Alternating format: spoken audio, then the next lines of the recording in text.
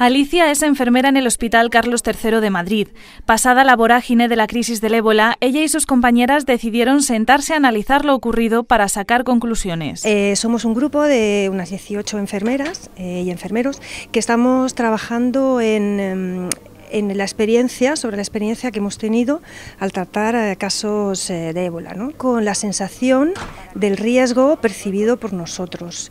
Esto es algo que nos ha condicionado muchísimo ¿no? y que ha marcado eh, a lo largo de todos estos meses prácticamente no solamente nuestro trabajo, sino también nuestra vida personal. ¿no? Es un ejemplo de enfermera investigadora, cada vez hay más como ella. Para desarrollar su investigación encontró apoyo en la unidad que encabeza Alfonso Gil en unos objetivos relacionados con la formación del, personal.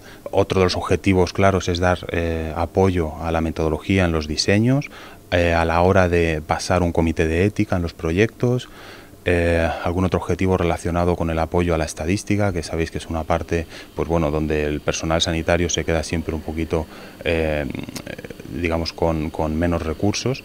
Otro de los servicios que damos desde la unidad es en asesoramiento en la búsqueda de financiación y en difundir todo lo que se hace dentro del hospital. Eh, al igual pues que jornadas, congresos que puedan venir de fuera y que puedan, ser, puedan ser interesantes para, para los investigadores. Juan José también es enfermero e investigador.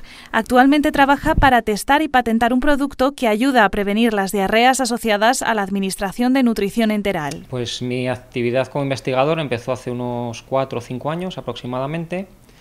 Yo cuando empecé no había unidad de apoyo de investigación, entonces yo lo que hice fue pues, buscarme un grupo de investigación ya consolidado, eh, formado fundamentalmente por médicos, y ahora pues con, la unidad de, apoyo a la investigación en enfermería, pues a lo mejor se nos entiende un poquito mejor en qué cosas necesitamos, qué, qué déficits tenemos pues para poder fomentarnos como investigadores.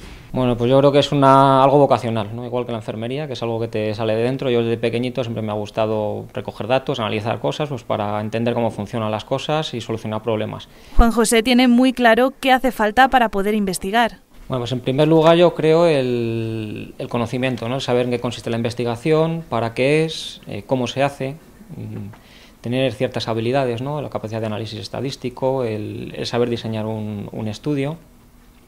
Y luego también algo muy importante yo creo que sería el, tiempo para poder investigar, que desde los hospitales se nos habilitara pues, un espacio en nuestra jornada laboral para poder centrarnos en investigar y, no distraernos, digamos, con la actividad asistencial. Distintos proyectos, distintos objetivos, pero un mismo convencimiento, que investigar es la única manera de ampliar el cuerpo de conocimientos de la enfermería.